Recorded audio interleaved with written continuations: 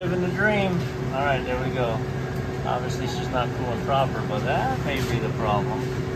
Okie dokie, here we are. I can see the fan running. All right, so we got this big unit back of the house, not cooling. 4K, maybe frozen up. Uh-oh, I hear it grinding. Ooh, I feel a lot of heat coming off of here. She's going off on high pressure.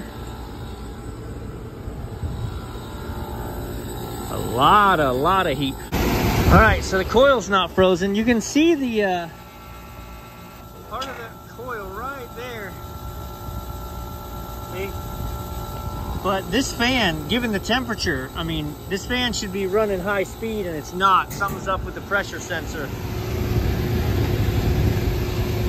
It's, uh, let's see, January, February, we did these in early December. So yeah, yeah, you're a week away. These of time. Alright. I'm actually going to open this up for a minute because it's uh, eat your heart out. North Georgia, 75, 76 degrees. Um, and what's coming downstairs is worse. So I'm at least going to give them the fresh air for now. Let's open up the panel, see what we can see. I know this is the case, but I want to show you second stage, high pressure. Across it we have zero, which means it's closed, which means it's allowing the system to run. Listen for the click. Bang, it's shut off. And now read 25 because you've got 25 to ground there and you've got zero coming back because the high, the high pressure now is open. So second stage is shutting off on high pressure. At low pressure, zero, we're good. All right, across the whole circuit, so the safety circuit is open or is closed. And then that contactor is gonna pop out and you're gonna read 25 because we're off on high pressure. We need to look at, there's an intelligent controller that's supposed to adjust this speed with the pressures and it's clearly malfunctioning because boy, I can feel the heat coming off of that thing. All right, we've got a bad motor master. So uh, the motor master controls the speed to that. So they've got me my leads right here. I'm gonna show you before the before the nonsense of motor masters, we just ran them off of the first stage cooling. So here's how we do it. We have to find our three phases, which if you look at it, you've got blue, yellow, and black. So let's confirm that across all those, 208, 208, 208, that's correct. So, those are the three we use. I really, that sucks because this one's already taken. It's fully occupied, there's no extra spades here. I wish I could have used that one, but I can't because that one's the black leg, and so you'll be single phasing your motor. So I gotta see what all these are, see if we can give one of them up. Uh, I think this blue is actually the power running to the Motor Master, so we may adios that, see how she runs. So,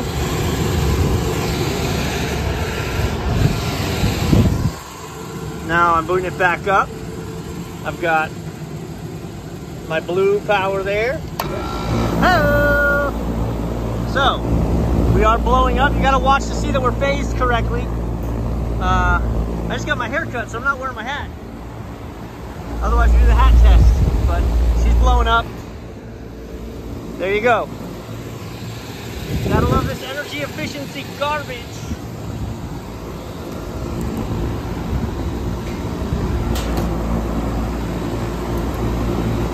Amazing, now the unit will stay running.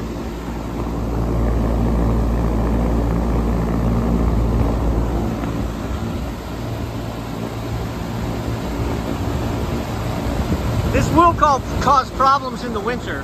Like I'm gonna have to address this in a different capacity. But for now, this is the kitchen. And like I said, these units have no redundancy. This is the, the kitchen, that's the dining room. So this hasn't been cooling all day and it's 77 degrees down there. Hey, look. Now we're actually getting it done. Who'd have thunk it? All right, I'm gonna go downstairs and look at the output temperature. I've got a, uh, a PM at this location next week. I may bump it forward. This is new, this is uh, new construction. This is a year old. I think they opened last December. It's February. So, like, the Motor Master's junked out. I've already bypassed the uh, variable speed drive for the blower. Look at this.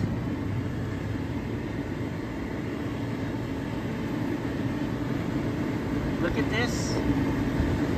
So every time it rains, we're just putting water in this box, which is connected to the inside.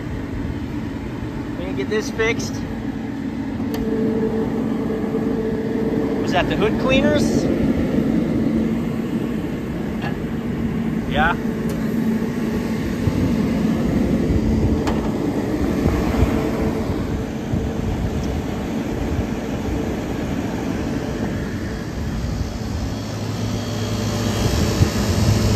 Our 448 freezer that we replaced the, what, the suction line inside? No, the liquid line inside. Pinhole, so, all right.